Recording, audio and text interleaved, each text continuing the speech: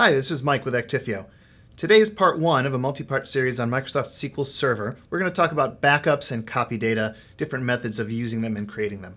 So to start out with, let's have a review of the different backup methodologies for SQL Server databases. There's really four different approaches that people use. Uh, number one, there's the dump and sweep approach, followed very closely by number two, uh, direct to backup software.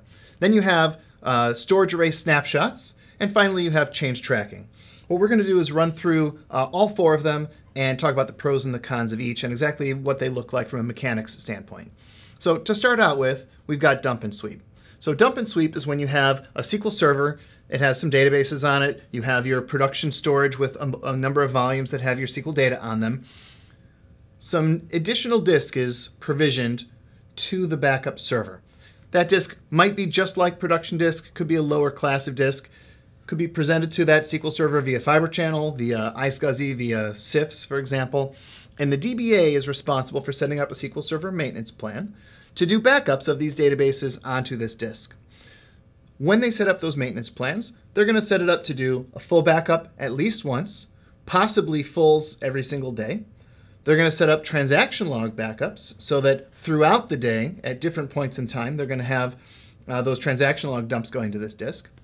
They may even set up differentials where uh, on day number one you run a full, on day number two you have a diff, and a differential means just the changes since the previous full. The challenge with diffs is on day number three, it's still the changes since the previous full, not since the previous diff. Therefore, it grows every time you do it. Eventually, it becomes uh, not worthwhile and you just run another full. You have some retention on this disk. Usually it's relatively short, and the DBA has the ability to access this disk oftentimes from multiple places throughout the environment so that they can do their own restores, copying that data back. What a restore looks like? Well, it looks just like a backup. Take the full. If you're using diffs, take one diff afterwards, whichever one is closest to your point in time. Copy them all back here as you initiate a restore process. They get copied back to the production disk and then bring the database online and optionally roll forward transaction logs. That process, of course, takes time, just like the backups take time. And backups using this methodology tend to generate a lot of I.O. on that server, as they're doing those fulls especially. Now, this isn't the end of the story for dump and sweep, that's the dump part. The sweep part is when you say, this doesn't get my data necessarily off site, this doesn't give me the long enough retention. So, you introduce a more traditional backup software. And the backup software has some target disk that it uses. Oftentimes this is deduplicated disks, compressed disk. It may also have tape. And what the backup software is going to do is the backup software is going to sweep by looking at what's on this storage uh, target location and basically copy it into its own. So you get the copies of all the different backups, including the transaction logs, into your backup destination. Then it may optionally copy them onto tape. It may optionally copy them to another backup server in another location so that you have some separation for disaster recovery. As you can see, this starts to add up with how many copies you may have. And don't forget, every time you're creating a copy, you're moving all of that data. So it really throttles the infrastructure in between the two. It takes a lot of time and energy, and it's not especially fast if you need to get to that data at some point in time later. That's when option number two came in. Option number two is direct to your backup software. And what this basically does is it says, it's nice that we have this landing pad here, if you will, for the DBAs to use directly, but if we eliminated this completely, we really don't give up anything. This is the thinking of a, of a backup administrator. And so the backup software can actually take directly from the backup, from the SQL Server, and send that data directly down into its storage. This eliminates the need for this copy, which is a good thing. The, the downsides of this, though, is your SQL DBA, who previously was very empowered to run their backups, run their restores, and own the process, now they have to work hand in hand with a backup administrator and with a different product that's not native SQL Server tools. So that sometimes pushes them a little bit out of their comfort zone. Uh, it also introduces some administrative burden. When you need to do a restore, one person has to go to another in order to do that process. Uh, sometimes the link between the servers, this is typically going over the network, uh, this can often be slower than this, which might have been a high-speed link. So sometimes your backups actually take a little bit longer, even though they take less space because you've eliminated this entire copy. This is the direct to backup approach. is very similar to dump and sweep in most regards. Neither of these are especially effective when it comes to dealing with large data. Because they're doing these repeated fulls, it takes a lot of time, it takes a lot of space. And that's when the third option came into play, and that's the snapshot option. Snapshot option is when you go to your storage array and you say, you know what, I really need to um, make an instantaneous point in time version of my data. So with this approach, you basically uh, freeze all I.O. on your databases for hopefully just a moment, and then you take a snapshot, the snapshot of your production disks. And when you do that, you're basically left with a full copy of your data as it looked at that consistent point in time. Now, this is a good thing, and it happens usually in a matter of a second or less because all it's doing is creating a pointer based copy. The downside of and this, by the way, addresses large data uh, backup window challenges very, very well. It's not doing a lot of data movement. It's not impacting the I.O. on your production server as it's doing the backup, except for an instant. The downside is this is just a snapshot, and snapshots, well, they're not backups. You tend to have very short retentions here, oftentimes shorter than you had with the dump and sweep approach. Uh, and if you want to get this data offsite, well, now you have to replicate it somewhere, to probably to another array.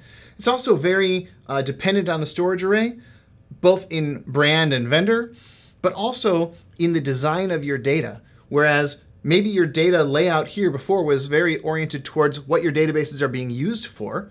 Now it's going to be oriented towards your backups um, because you're going to want different retentions to be snapped at different times. And then once you have this data, you still have to get that snapshot somehow to your backup software.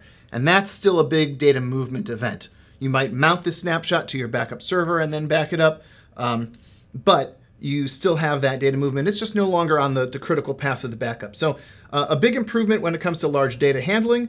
Um, a, a, decrease in efficiency uh, when it comes to uh, flexibility on how you design your policies and run those jobs. Uh, definitely a decrease in efficiency when it comes to recoveries from a policy standpoint. Now you need a storage administrator often to be involved with doing those recoveries.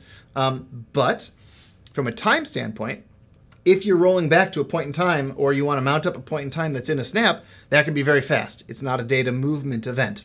So definitely better at handling big data. For small data, it's more complex uh, and more interaction between components, uh, more failure opportunities as well. And that's when we come to uh, option number three, or option number four, uh, change tracking. Change tracking is uh, taking a little bit of the best of both worlds, where you say, I've got my databases, I need to track what's changing on them from day to day to day.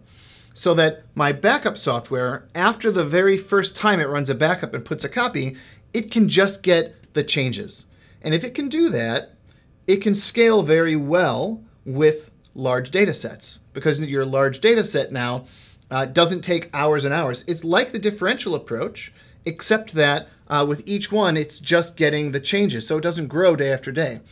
With the better uh, implementations of change tracking solutions, you can actually say one full, and after that, incrementals forever without ever having to do another full again. And when you go to do recoveries with incrementals, um, you, you, usually think backup software incrementals, I have to do a restore of a full and then every incremental to get to a point in time. With the change tracking approach, you usually don't. Each one of these, while looking like an incremental or while looking like an incremental to create it, uh, it's actually a virtual full. And so recovery of any of these uh, tends to be go to that exact point in time and it's it's a full just the way you would want it to look and then you can apply your transaction logs. Uh, some of the products can even present directly from the backup server back again to any SQL server an image from a point in time and bring it online. So this really addresses uh, very well large data. It also addresses recovery time very effectively and integrates with your longer term retention targets and your offsite replication. So you might be saying, well, what's the con, the negative of this? Well, really, there's uh, there's not many. It depends on the implementation. Um, one of them is uh, you can have a solution like this that integrates and depends on your storage array, where it's not doing change block tracking here. It's doing the change tracking by taking snaps and then taking the incrementals from the snaps and copying them someplace else. Uh, cons of that is it's dependent upon the storage array, the vendor, the brand, compatibility matrix, etc. Um, but that can definitely be made to work.